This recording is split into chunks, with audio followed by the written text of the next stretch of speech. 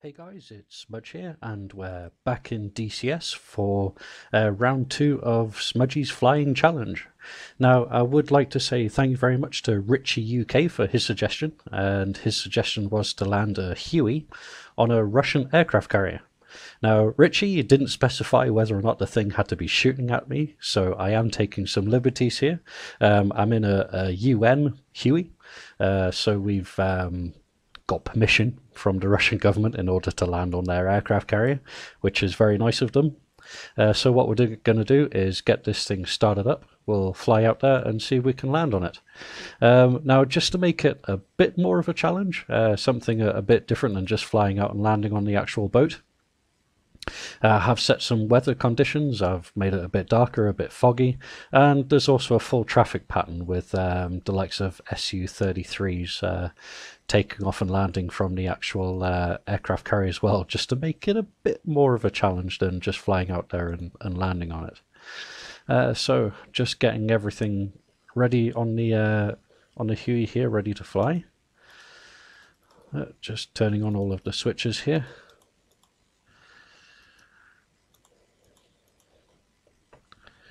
Just uh, throttle down. Yep, there we go. Now, uh, I did do a, a, video on the Huey um, a couple weeks ago, and a lot of people were um, commenting on, on the fact that I was um, not starting it properly and that there was lots of flames coming out the exhaust, which was kind of done for effect because I think it looks quite cool. Um, but that's just me. Uh, so normally what you do in the Huey is that you can uh, set the throttle to a minimum. You just wind it all the way down or just hit page down.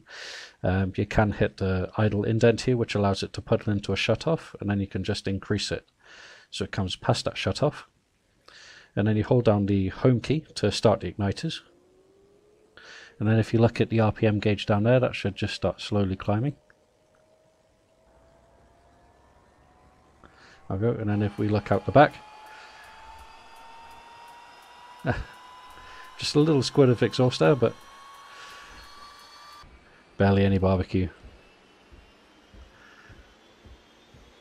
Not even enough to roast a chicken at. So there we go, got this thing uh, starting up here, so we'll just um, trim out ready for takeoff. So aircraft lighting there, so we'll just slowly throttle up to bring us up to uh, idle RPM.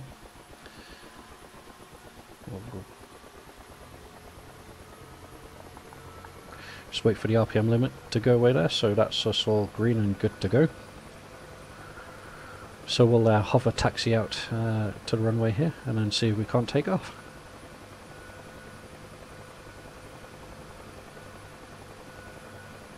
Here we go, so just slowly bringing up the uh, collective here to start lifting.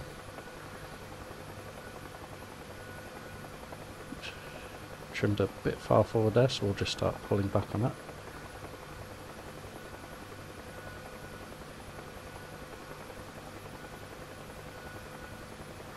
Just trying to get this trim centered here. She's uh, kind of all over the place a little bit here.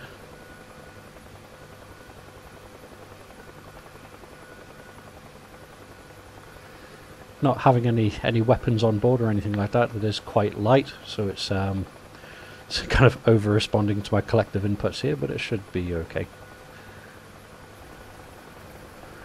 Flying sideways here, but there is a little bit of wind, which is uh, going to cause me to crab a little bit here as I'm taxiing, but uh, not enough to really kind of worry about at the moment.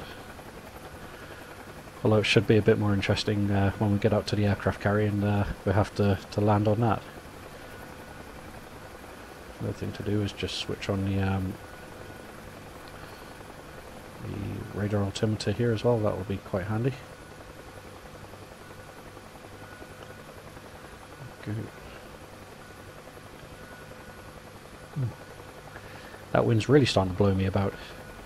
Got about uh, 5 to 10 meter a second ground speed, um, or wind speed at ground level, so it's um, it is a bit blowy, but it just adds to the challenge, I suppose. So I think we'll take this um, short turn onto the uh, taxiway just to get on the runway and then we'll uh, get airborne here.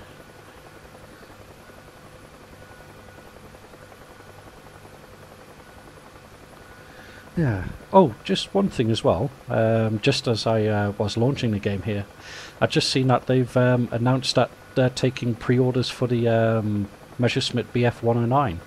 Uh, so that's quite exciting. Um, now, apparently, the full re- full release is going to be in November, which uh, is pretty exciting news.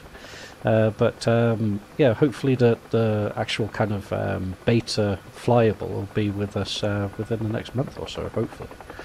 So uh, that's something to, worth keeping an eye out for, as well as the uh, MiG-21 BIS. So I'm quite excited about that. I do like flying the World War World War II aircraft. So yeah, that that definitely kind of uh, give me a little smile on my face. The fact that uh, we might soon have a, a Messerschmitt to to go against the, the Mustang as well. But um, one thing I'm very looking forward to as well is uh, kind of like the introduction of a, a, Spitfire or Hurricane as well. I think that would be um, really exciting to have. But um, again, I've not really heard too much on uh, on how the development on the um, on any more British or American aircraft is going. So we'll just fly out here. It is pretty foggy. And I also have to keep an eye on my um, altitude here because uh, Again, it can be a bit deceptive, so I'm at about 130 feet there and climbing, so I know that that Russian carrier is out in this direction somewhere. Uh, he does have a, a, few friends with him as well, so uh, we'll just fly out in this direction, hopefully we'll find him. In fact, if we pull up uh, radio here, we might be able to contact them. so uh, let's see, for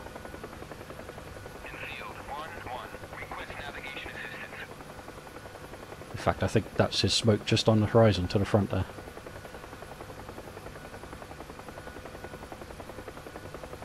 Did turn radios on, didn't I? Maybe, I don't know. Anyways, I can see lots of smoke just on the horizon there, and I think that's probably our aircraft carrier at, uh, at full steam ahead. So we'll just uh, continue flying out here and doing about a hundred knots at the moment, which is uh, which is not bad considering the fact that we've got a bit of a bit of a side wind here going on as well, which is uh, causing the, the, helicopter to crab a little, but um,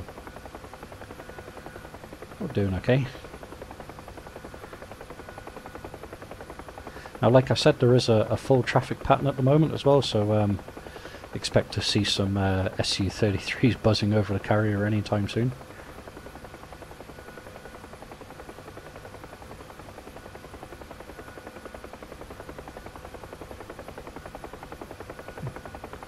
sinking a little bit here. Just feel the water getting ever closer. It is pretty foggy.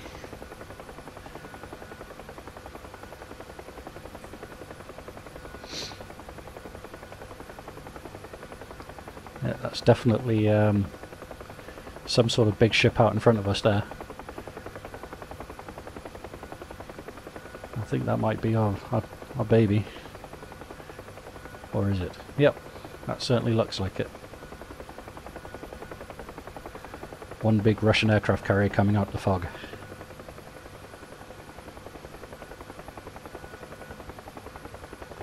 So we'll start slowing down here and then prepare to land. Now with SU-33s kind of in the traffic pattern, maybe coming into land soon, I can't kind of line up with the deck, um, otherwise that may cause uh, a pretty hairy collision. So what I want to do is kind of come to the side of her and then uh, line up to do a, a, hover landing kind of on one of the, the landing pads on the side. Now she is moving, um, a full speed is about 13 knots, although I'm not sure I believe that she might be doing less than that. Um, oh hello. So as you can see there's just a, uh, another SU-33 just come in for landing there. So uh, yeah, like I said, it is a, a, bit of a full traffic pattern, so we um, we can't uh, we can't kind of fly over the, the deck and just land on the main part otherwise we might end up getting squished so I'm just bringing myself down here and watching my rate of descent and just kind of controlling myself here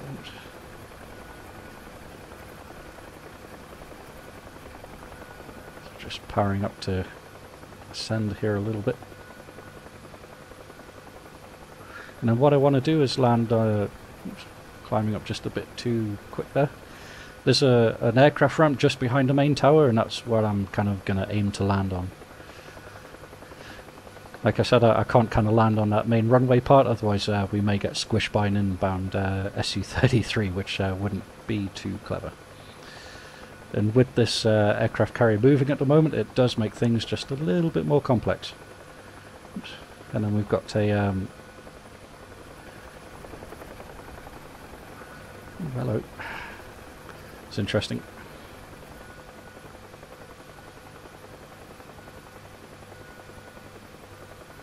She's just squatting on me there quite a bit, so uh, ooh, this is interesting. Uh, she's uh, kind of not enjoying this one bit.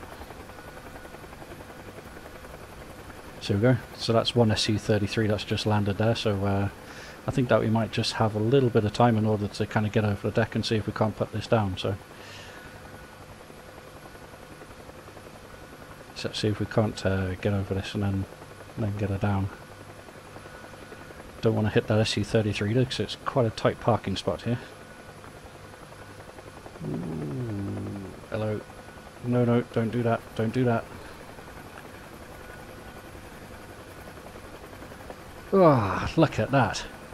Pretty much on the nose. Ooh, she's sliding a little bit actually. Might need to just um, pull her a little bit further over. I think the wind's starting to blow us just off the... Um, uh, so yeah, we'll shut it down there and then we'll... Uh,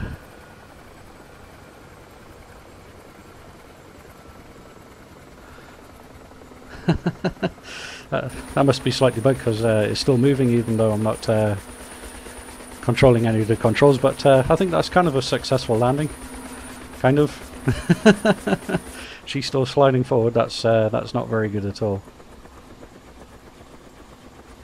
So uh, yeah, that's um, that's me kind of landing on a um, on a Russian aircraft carrier, even though this thing is uh, bugged out and it seems to be sliding forward and ripping off the rotor blades. what do you look at that? So yeah, there's you know a little bit of a bug there, but um, I'd, I'd still class that as a successful landing. I think, even though this thing is trying to kill me somewhat. So uh, again, I hope that you've enjoyed this, even though uh, the helicopter just decided to suicide itself there at the end. And um, yeah, uh, there are some other challenges on there. I've had a, a challenge to land an Su-27 on the back of an aircraft carrier, which um, again is going to be a hell of a challenge in order to kind of stop that thing um, on a landing.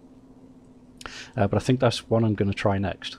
Uh, so I just want to say thank you very much for your, your comments and suggestions. And um, even though this hasn't gone kind of entirely well, uh, I'm going to put that down to a bug.